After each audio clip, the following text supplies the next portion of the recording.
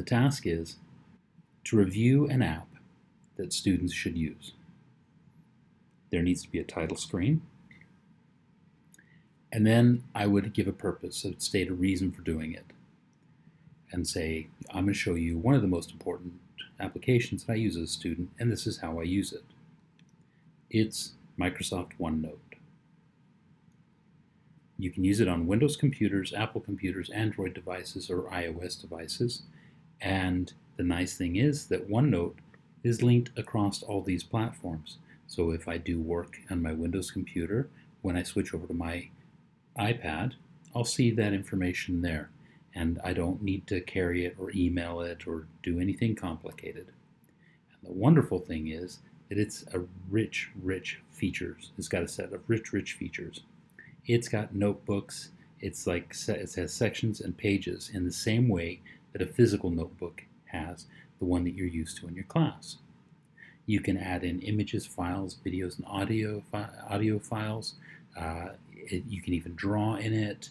It supports any kind of device you want to use. You can type notes in. You can record notes. It's so flexible because it's got a lot of features in it and it's all free. Now, OneNote looks like a notebook, and you can see here I've got my different books, and inside of a book, I've got my different sections. And these can be different subjects. And inside of each section, I've got my different pages. And pages can be different notes for different topics in a class. So let's see what this looks like.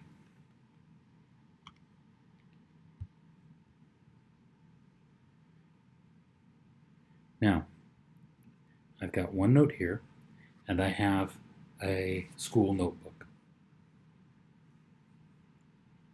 The school notebook is divided into math, science, philosophy, and general resources.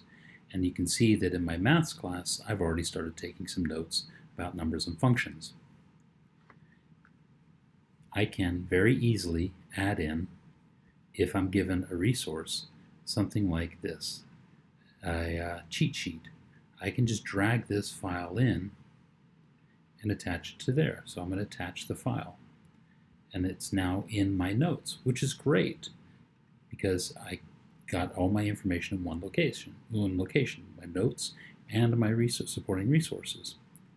One of the other benefits of OneNote is that not only can I drag a PDF file in there, let's take this page here.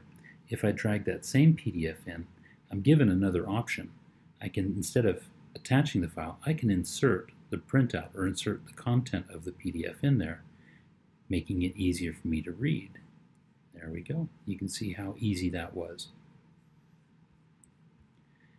If I have a science class, I've got my notes in here, and if I have a page and I want to annotate it, I can go over to the drawing tab, and with the pen, I can choose a color, and I can draw on my diagrams. For example, I can say that the gas molecules just bounce around inside the chamber like this.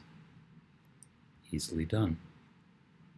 I can also, if I have content that I want to capture, screen capture, I can screen capture anything on my screen and drag that in and then make my additional notes and say sun. There we go. Now I know where the sun is. I can also use applications like Kindle.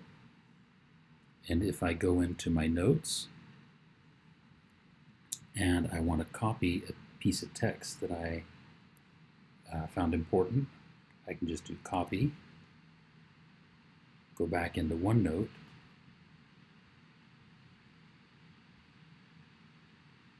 and paste it in there. And it not only pastes the text in there, it also pastes where the source information came from, which is very useful for me as I, as I uh, gather my notes and thoughts together.